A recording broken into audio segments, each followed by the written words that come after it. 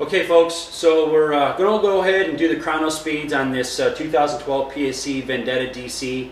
Um, we're going to shoot the exact same arrows as we did with the carbon element and with the Evo test. Uh, this thing is at 64.5 pounds, so real close uh, right there, and at 28 and a half inch draw, shooting the exact same arrows. So we're going to go ahead and get some speeds on here. I've got the GoPro set up here on front. And uh, what we're going to do is we're going to use the GoPro to, I'll call out the speeds, but we're going to use the GoPro to actually focus in, and that way you guys can see what the numbers are on the chronograph, and then you guys can watch here from, uh, from behind as well. So here we go.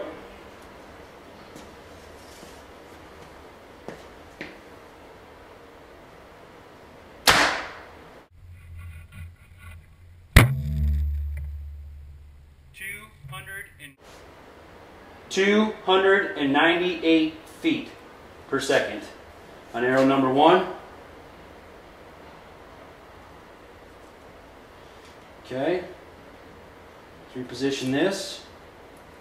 Arrow number two.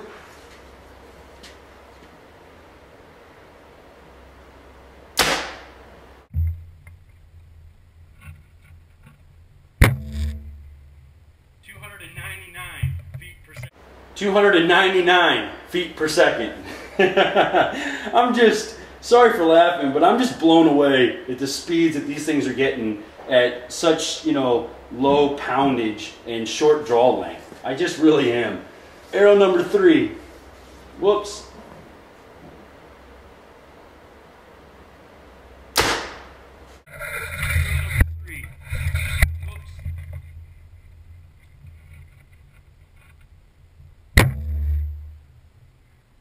Duplicate 299. Duplicate 299 feet per second. So 298 and 299 feet per second with the uh, 2012 PSE Vendetta DC. Set at 64 pounds, 28 and a half inch draw, shooting a 350 grain arrow. Um, absolutely smoking fast in my opinion. Um, it should be right around IBO, no problems whatsoever. But uh, you guys give, uh, if you guys are looking for a new PSE, give Inside Archery over here a call. These guys will take care of you. They got the bows. I am extremely impressed. Um, I just, uh, it's hard because, you know, I, I loved that Evo 7, but my lord, this is nice too. I mean, I'm just very, very impressed with the new PSE line. So, all right, guys, we appreciate it. Like I said, we got that contest running on Facebook.